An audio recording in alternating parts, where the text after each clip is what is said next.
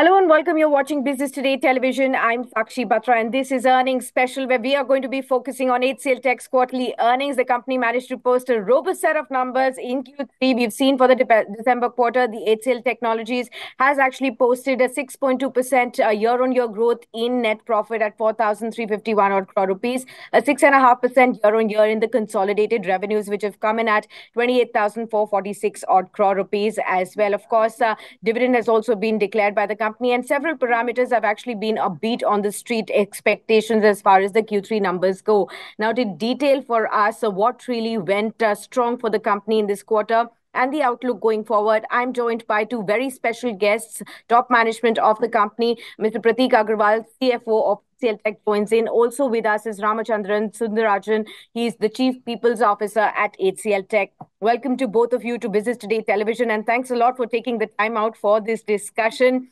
Okay, to start off this discussion, Prateek, with you, tell us, you know, uh, you really mentioned when the press conference is on uh, in cricket parlance that you really uh, hit it out of the park uh, on all accounts this time around as well. So, congratulations, first of all, for posting those robust set of numbers to you. And, um, you know, how is the macro environment uh, looking like in terms of demand and client spends? Has it really improved from the last quarter that spoke about as well? Because the large larger concern is not very, very, uh, you know, from your peers also. We've not heard very confident um, statements coming around that, you know, things are looking up or bright. I want to understand from you, how are things shaping up?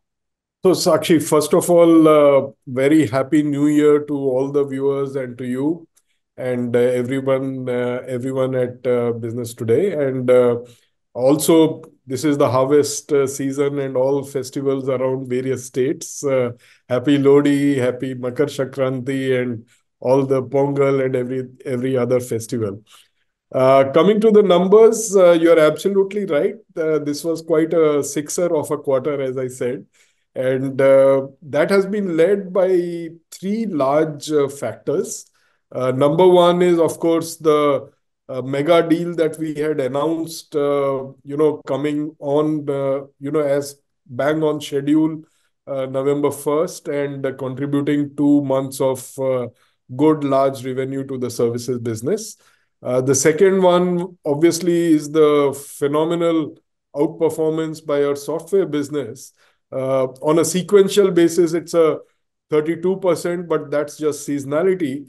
The number to note is the 5% year-on-year uh, growth, which is also very special uh, in these times and uh, you know for this business.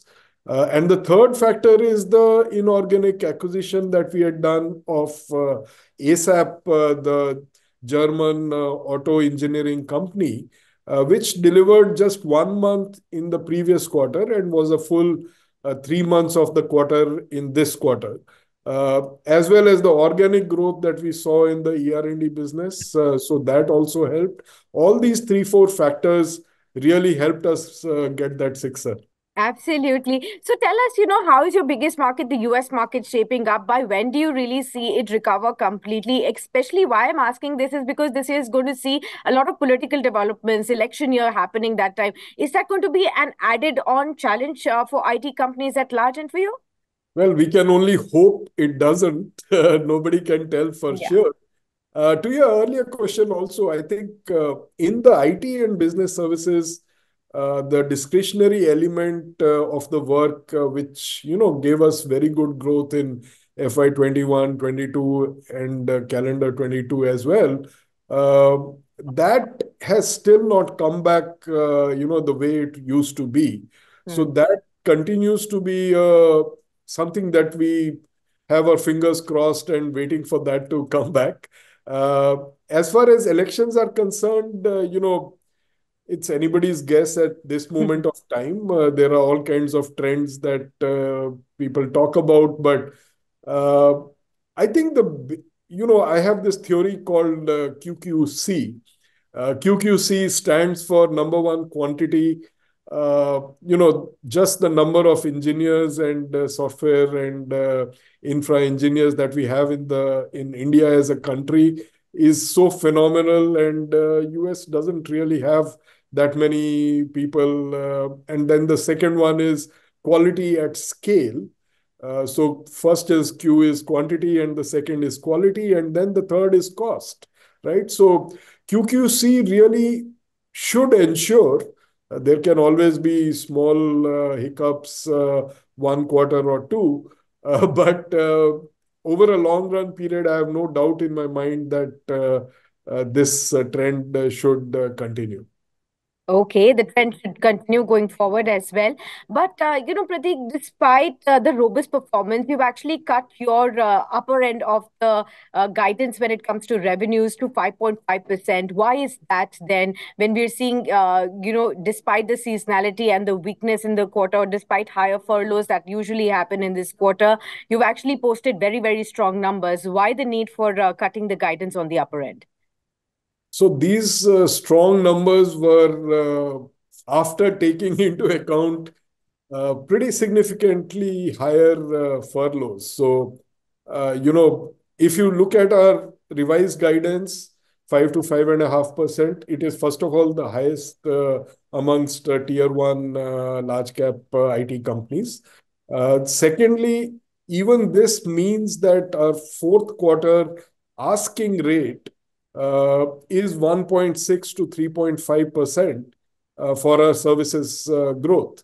So 1.6%-3.5% is a decent growth in any quarter, and certainly in these times that we are going through. And that, again, is premised on three, four things. Number one, you know, we do have one extra Uh, quarter of the mega deal uh, coming in. So last quarter was just two months, and the full three-month impact will be there in March quarter.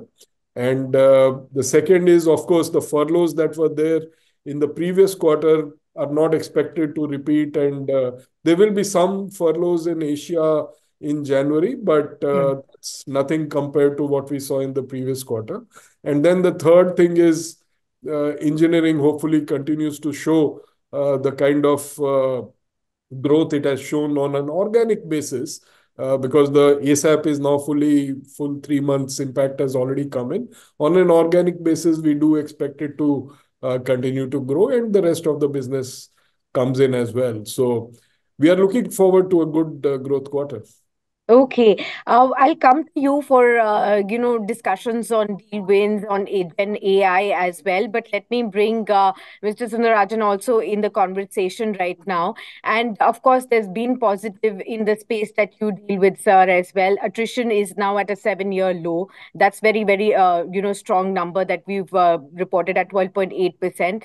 Tell us, you know, what is the sense that you have now? Is this uh, going to be the norm? Uh, are you, uh, you know, could it be sustainable going forward? What really led to this positive number on attrition, and what's the outlook now?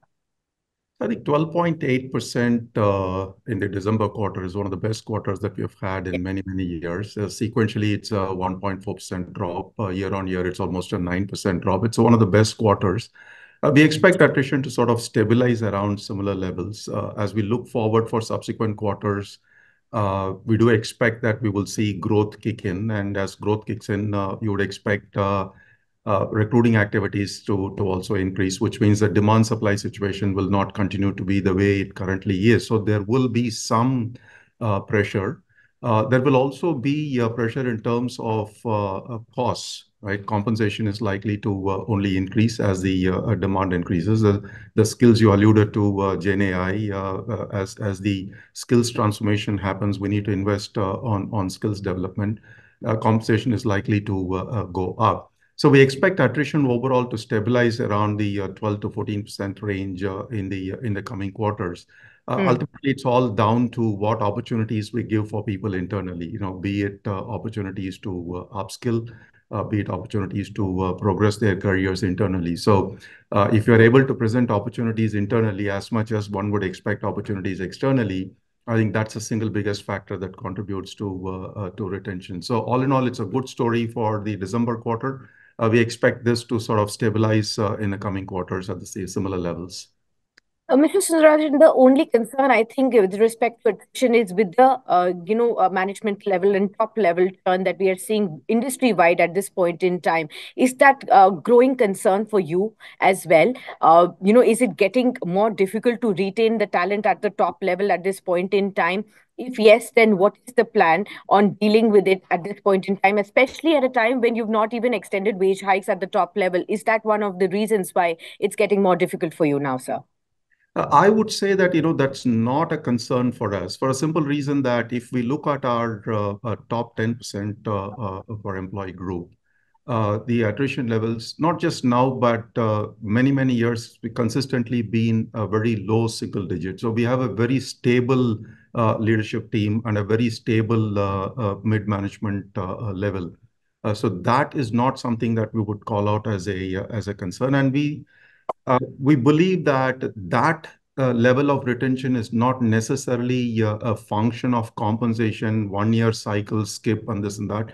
It's largely a function of the work environment and the culture that we promote within the organization. Because at that level, uh, people continue to stay with you because they get excited by what they do, the level of autonomy that they have in the work that we do, and the culture of entrepreneurship that we uh that we continue to maintain. Uh, I think those are the drivers. And you would see that, you know, uh, yes, we do have one or the uh, senior members of our team leave, but generally you wouldn't see a spate of attrition at that level. So that's not a big concern area for us.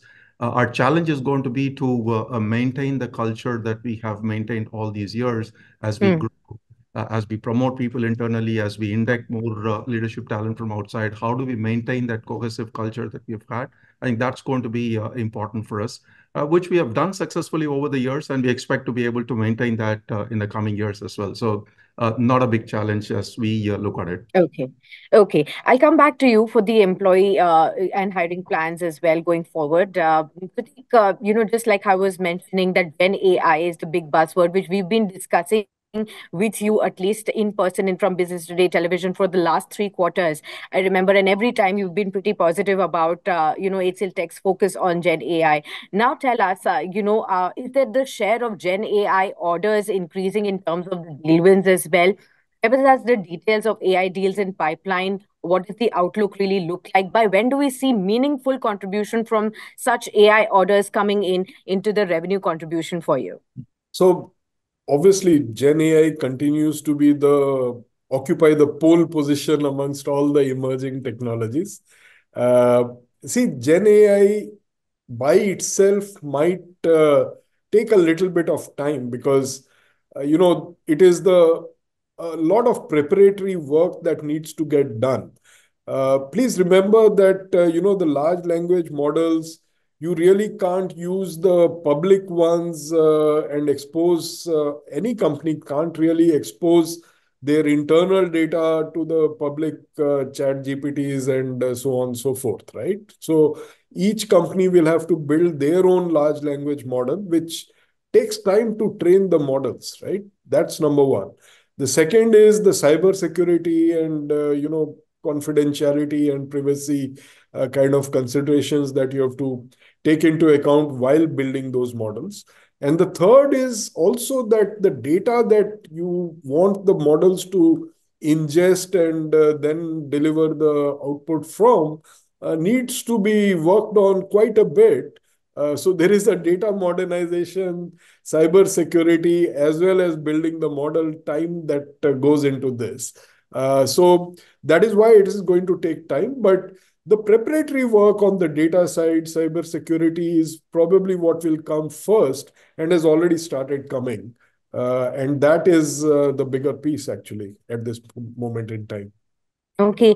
Uh, Ram, let me uh, bring you in. Uh, in terms of the demand for Gen AI, just like how it is increasing, is that going to lead you to also increase in external hiring as well? What would be the impact on hiring as far as Gen AI focus is concerned for HCLTech?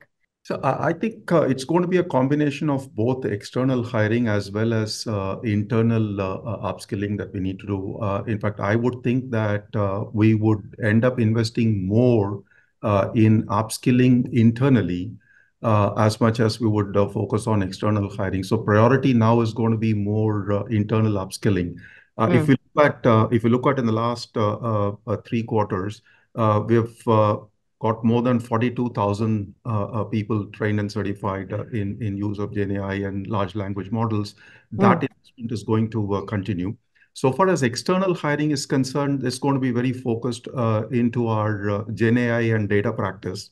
Uh, but that's not going to be in large volumes. It's going to be for very niche skills. But the the volume play is going to come from internal upskilling. So investments, we'll expect to see more into upskilling efforts, supplemented by targeted external hiring into our GenAI and data practice. That's the way we look. Okay. Uh, Prateek, just one or two last questions that I have. Uh, one on how FY 2025 is looking like for you vis-à-vis FY 2024. Is it going to be a better year? Which are the growth drivers that you're betting big on? Is it going to be services again, which has really led the show this time around in this quarter? Uh, will BFSI also pick up pace, which has seen a dip this time around? How would you really look at the entire new fiscal going forward? I think we have, we are like that plane with all engines firing. So, Uh, you know, services, like you said, would uh, certainly be expected to lead the charge. Uh, software, as it has shown this quarter and in the last 12 months, I mean, in the last 12 months, software has grown 4.2% year-on-year. So they should join the bandwagon. And we continue to have a very good mix of businesses and good mix of people and good strategies and Uh, capabilities. So we should be we should be well, we are well placed uh, if you go by the exit rate that we will have in the March quarter, which is the exit quarter. Uh, I think we should be well set. I'll come back to you next quarter to talk about FY 2025 otherwise. Okay. Ram, last question to you, and then we will wind up this conversation. Employee addition has been strong, 3,617 this time around as well. As compared to the peers, it's been much better. But going forward, uh, how do you see the hiring plans going forward? You know, uh, uh you know, our concerns around uh, fulfilling the commitment to rolled out offers initially, a thing of the past that industry was, you know, looking at over the last three quarters? So this quarter net addition, if you see, we have come out of two quarters of uh, negative net headcount increases this quarter, largely contributed by the ramp-up that we had to do for one of our uh, uh, mega deals from last quarter. Plus, also, we had 3,800 freshers added this quarter. And that is continuing our commitment to onboard freshers for whom we have made offers. That's going to continue in Q4 as well. So the fresher onboarding for Q4 will continue. A services business where uh, we have projected growth for this quarter, we will continue our hiring for that, for lateral hiring as well. So Q4 is expected to be a net headcount uh, increase uh, so far as we are concerned.